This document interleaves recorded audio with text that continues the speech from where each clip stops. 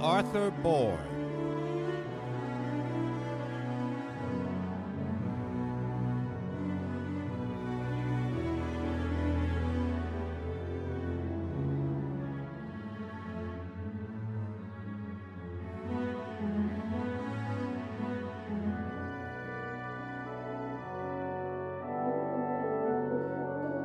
For Bleys, our Merlin's master, on the night when Uther in Tintagel passed away, moaning and wailing for an heir, the two left the still king, passing forth to breathe through the dismal night, beheld so high upon the dreary deeps, wave after wave, till last a ninth one slowly rose and plunged roaring and all the wave was in a flame, and down the wave and in the flame was born a naked babe.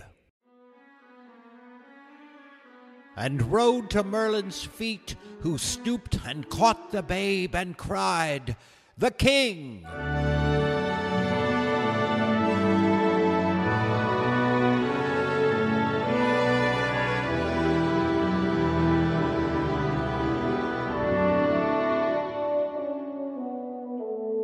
Here is an heir for Uther.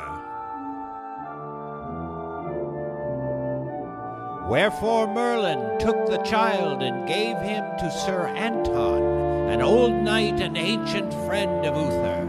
And his wife nursed the young prince and reared him with her own, and no man knew.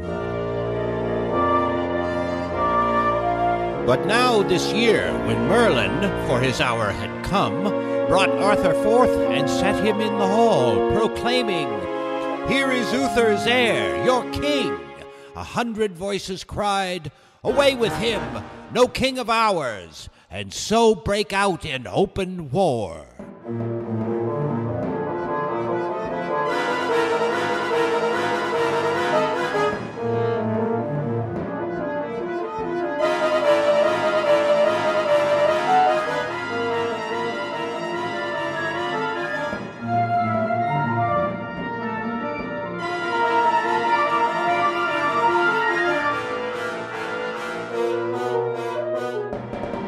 A doubtful throne is ice on summer seas.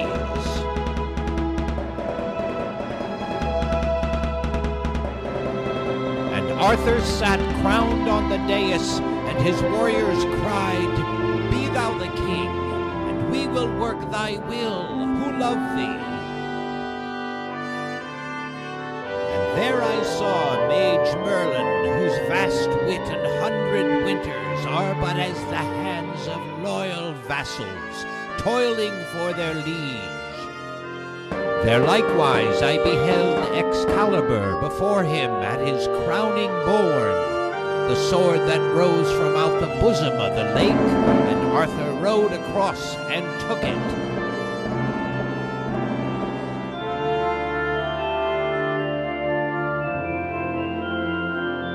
And near him stood the Lady of the Lake, who knows a subtler magic than his own, clothed in white samite, mystic, wonderful.